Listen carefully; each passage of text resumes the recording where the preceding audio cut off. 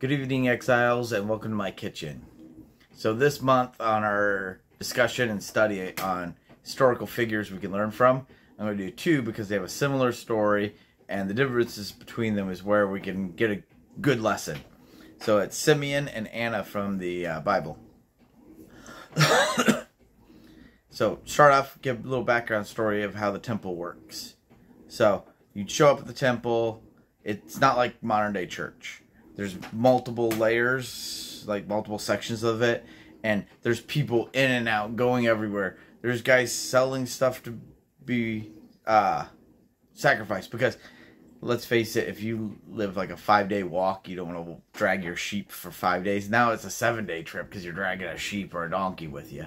So you sell you the sheep, go to the temple, buy a new sheep, and sacrifice it as far as God's concerned, that's the same thing. Um, and a lot of times, those good, really good sheep would make their way to the temple anyway, eventually. But anyway, the uh, uh, so it's it's think of the uh, kind of hectic and crowdedness when you go to like a county fair and there's people everywhere doing things, and that'd be more like not the atmosphere, but more like the crowds and what's going on at the temple than we think of as church.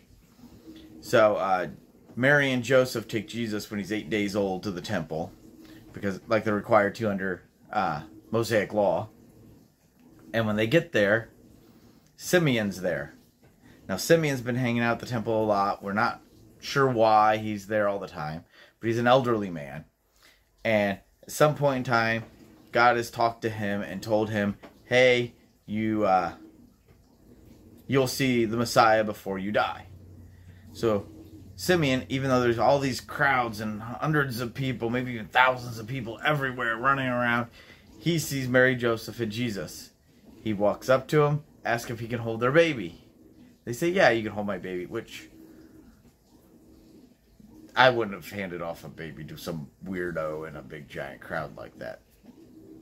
But I'm not Mary and Joseph. I'm not chosen to to, to be the earthly parents of God. So uh, they're special people. But anyway, they hand Simeon the uh, Jesus over to Simeon.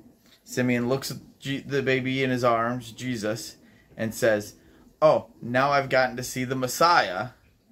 Now I can go off and be happy and die happy, like God said I could."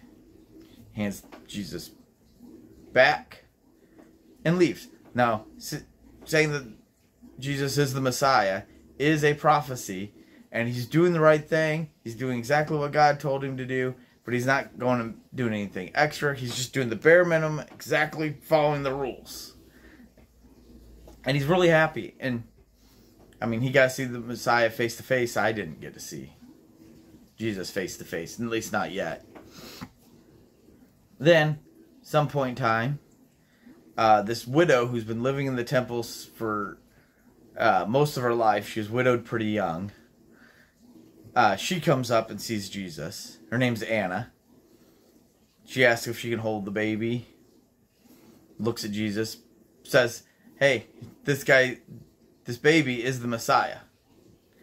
And then instead of saying, "Now I can go," now I'm happy that I saw the Messiah and I can die happy.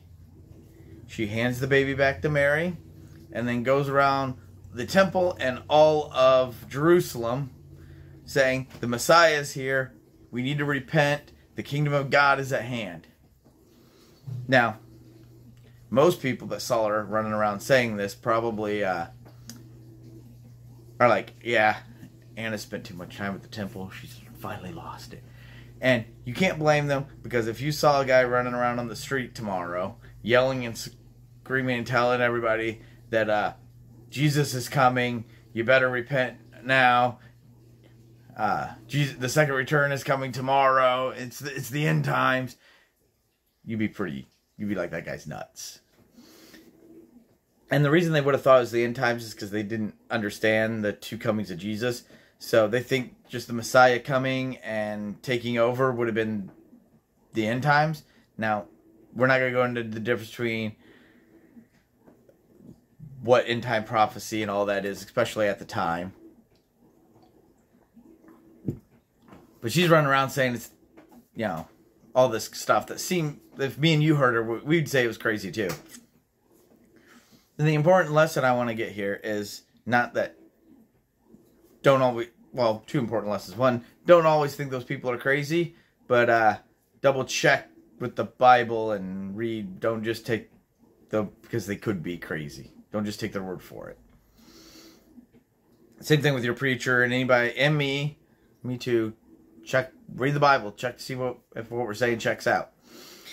And then the other thing is Simeon did the bare minimum, what God told him he had to do, and Simeon was most likely saved because he held the baby Jesus, he prophesied about Jesus.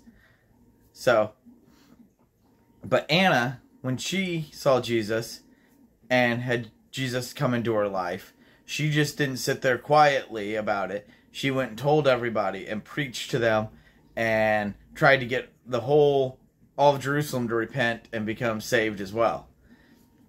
So we can't just when we become Christians and we have Jesus in our lives, we can't just do what Simeon did. We should really do what Anna did and preach to other people and uh, spread the word. There's tons of Bible verses about doing that. And before we uh, go and spread the word and preach, we should uh, learn more and also be an example through our lives. Both of these people seem like they're great people, dedicated their enti- or a good chunk of their life, in Anna's case, almost their entire life, to helping out at the temple. So that's pretty much all I got for the lesson. We should try to be more like, even though Simeon did nothing wrong, we should be more like Anna and try to give a hundred percent to God, and go beyond what the bare minimum rule is, because read what Jesus said to the Pharisees about them following the bare minimum rules. It's not good, by the way. So, thank you for watching. I hope you got something out of this.